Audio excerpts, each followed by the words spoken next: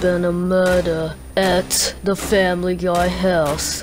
Glenn Quagmire has been murdered. Gotta figure out who killed him. You, this is the house. Gotta see who the murderer is, or whatever. There is one murderer, and his name is Peter. This tells you how to murder. One jester, and this is telling you how to get killed on purpose, which is the jester rule. And yeah, that's the rule.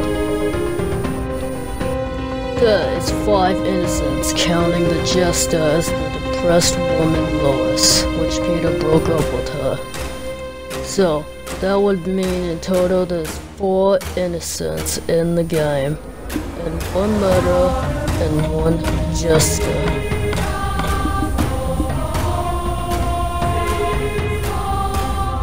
Now, inside the house.